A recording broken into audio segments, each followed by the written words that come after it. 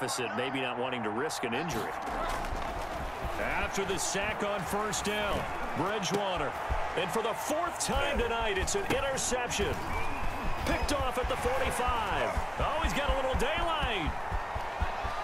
And he will score.